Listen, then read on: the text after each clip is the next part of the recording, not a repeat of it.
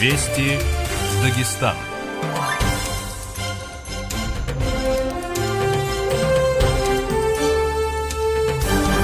Danışır Mahaçqala. Axşamınız xeyir hörmətli dinləyicilər. Dağıstan radiosu ilə Azərbaycan dilində Mahaçqala 105.6, Dərbənd 104.9, Xasavyurt 101 FM diapazonunda xəbərlər buraxılışını dinləyirsiniz. Mikrofon qarşısında jurnalist Zöhrə Musayeva, rejissor pult arxasında Mina xanım Mamayeva.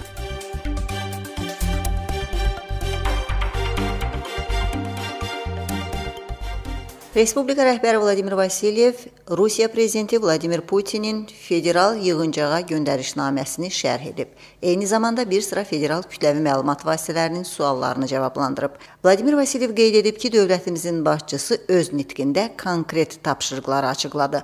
Rusiya Federasiyasının prezidenti Vladimir Putinin gündəlik işində və çıxışlarında biz iki əsas vəzifəni müşahidə edirik: təhlükəsizlik və suverenlik ilə təmin olunan ölkəmizin böyüklüyü və hər bir sakinin mənafeyi. Respublika rəhbərinin sözlərinə görə Vladimir Putin problemləri aşıqlamaqla yanaşı həm də onların həlli yollarını təklif etdi. Artıq bütün səviyyələrdə hakimiyyət qarşısına konkret plan qoyulub. Dağıstan Respublikasının Milli Siyasət və Dini İşlər naziri Enrik Müslümov Rusiya Federasiyası prezidentinin müraciətini şərhində qeyd edib ki, diqqət insana yönəlib. Vladimir Putin açıq şəkildə göstərdi ki, ölkə öz vətəndaşlarını və iqtisadiyyatını xarici təcavüzlərdən qorumağı bacaran suveren bir dövlət olaraq qalmalıdır. Müslümov qeyd edir ki, ölkənin ən yüksək rəhbərliyinin bu mövqeyi Dağıstanlılara yaxındır. Məktəbə qədər 3 ilə 7 yaş arası uşaqlara müavinətlər bu ilin yanvar ayından etibarən ödəniləcəkdir. Yenilik qadına özünü tamamilə uşağa qulluğa həsr etməyə imkan verir. Bu ödənişləri çətin vəziyyətdə olan, gəliri adam başına bir yaşayış minimumundan çox olmayan ailələr alacaq. Analıq kapitalı indiki miqdarda ilk uşaq üçün nəzərdə tutulur, ikinci uşaq üçün 150 min rubl əlavə olunacaq və bütün bunlar 2026-cı ilin sonunadək davam edəcək. Yenə də uşaqlar üçün ölkənin bütün subyektlərində 1-ci, 4-cü sinif şagirdləri pulsuz isti yeməklə təmin olunacaq. Prezident burada dəqiq müddətləri təyin edib və bu işin sürətləndirilməsi üçün subyekt rəhbərlərinə müraciət edib. Ölkənin bütün məktəbləri 2023-cü il sentyabr ayının 1-nə qədər uşaqları yeməklə təmin etməlidir. Demoqrafik inkişaf üçün atılan addımlar artıq öz nəticəsini verdi. Rusiyada 2010-cu illə müqayisədə şagirdlərin sayı 6 milyon nəfər artıb.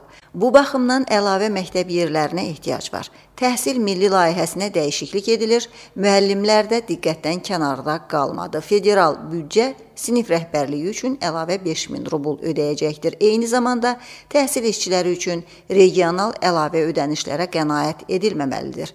Prezident bu işi şəxsən izləyəcəyinə söz verdi. Vladimir Putin tibb təhsil müəssisələrinə məqsədli qəbulun bərpası tərəfdarıdır. Beləliklə məzunların 75%-i öz şəhər və kəndlərinə işləməyə qayıdacaq.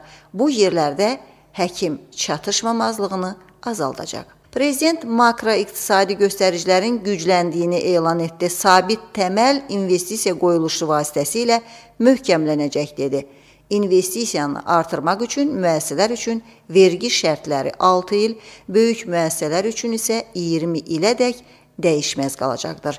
Prezidentin bütün əvvəlki müraciətnamələrindən fərqli olaraq bu dəfə daxili siyasi sistemə diqqət yetirildi. Yeni ildə ölkə konstitusiyasında dəyişikliklər olacaq. Məsələn, xarici vətəndaşlığı olan və ya yaşayış icazəsi olan insanlar subyekt rəhbərləri, deputat, hakimlər ola bilməyəcəklər və Dövlət Duması hökumət başçısını, müavinlərini və federal nazirləri təklif edəcəkdir.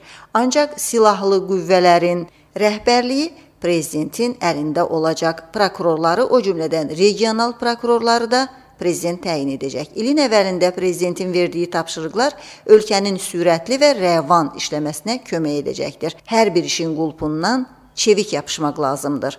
Məfhumu müraciətnamənin əsasını təşkil edir.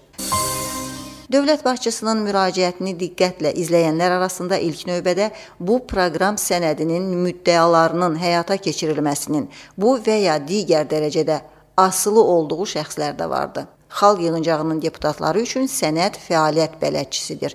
Parlamentdə səslənmiş təşəbbüslər xüsusən də ölkədə analıq kapitalının artırılması, ailələrə dəstək verilməsi müsbət dəyərləndirilib. Dövlət başçısı bir çox sosial sahələrə toxunub. Dağıstan Respublikası Xalq yığıncağında Büdcə, Maliyyə və Vergi Komitəsinin sədri Seyfullah İsakovun qeyd etdiyi kimi, müraciətnamədə təhsil sisteminin inkişafına da diqqət yetirilmişdir. Немаловажным фактором является и здравоохранение, вот где будет кардинально все меняться.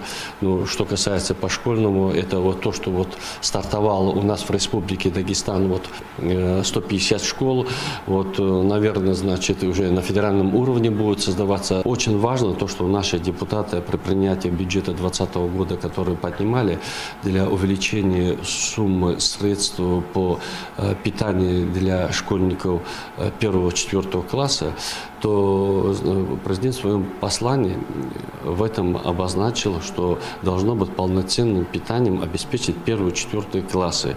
После послания будет, конечно, приниматься очень много нормативных правовых актов э, для реализации основных его положений, вот, над чем мы будем тоже работать. Xəbərlərin oxunuşunu davam etdiririk. Dağıstanın Əmlak Nazirliyi ötən il üzrə iş fəaliyyətinə yekun vurub. 700 mindən çox tikinti obyekti dəyərləndirilərək respublikanın kadastr reyestrinə daxil edilib. Bundan əlavə 140 minə yaxın kənd təsərrüfatı əhəmiyyətli ərazi və 800 mindən çox yaşayış məntəqəsi torpaqları qiymət alıb. Bütün bunlar Dağıstan Əmlak Nazirliyinin ötən ilki işlərinin nəticələridir. Ağa Rəhim Kagir Hacıyev torpaq inventarizasiyası barədə məlumat verib. Bildirib ki, respublikada bütün ərazilərin sahəsi 1,8 milyon hektardır. Bu 3000 torpaq sahəsindən bir qədər çoxdur. Təxminən 30 faizi artıq inventarizasiyadan keçib. Ötən il respublikada qaz şəbəkələrinin tam inventarizasiyası aparılıb. Nəticədə qaz boruları uzunluğunun 16 min kilometrə yaxın olduğu müəyyən oldu. İnventarizasiyadan əvvəl yalnız 13,5 min kilometrə yaxın olduğu barədə məlumat var idi. 1600 kilometrdən çox sahibsiz qaz şəbəkələri müəyyən edilib. Bundan əlavə qaz şəbəkələrinin bir neçə sahibinin də olduğu aşkar edilib. Bu sayaq ikili şəbəkələr 2600 kilometrdən çoxdur.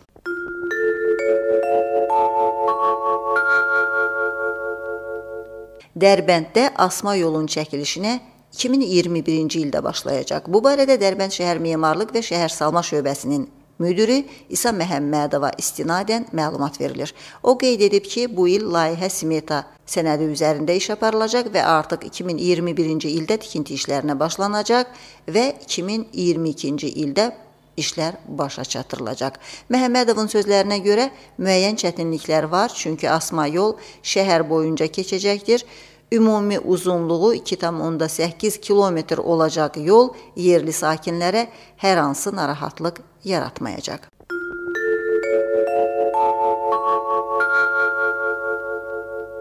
Dağıstanda 320 min hektar sahədə yaz tarla işləri aparılacaqdır. Bu məlumat Rusiya Kənd Təsərrüfatı Nazirliyinin video selektorunda səsləndirilib. Burada Dağıstanın Aqrar Sahə Naziri Abzagir Hüseynov, Dağıstan üzrə Rossellxoz Center filialının rəhbəri Məhəmməd Hacı Məhəmmədov, həmçinin nazirliyin şöbə müdirləri iştirak edirdilər. Video selektoru zamanı 95 min hektar ərazidə payızlıq, 225 min hektar sahədə isə yazlıq əkinlərin aparılacağı elan olunub. Siz xəbərlər buraxılışını dinlədiniz.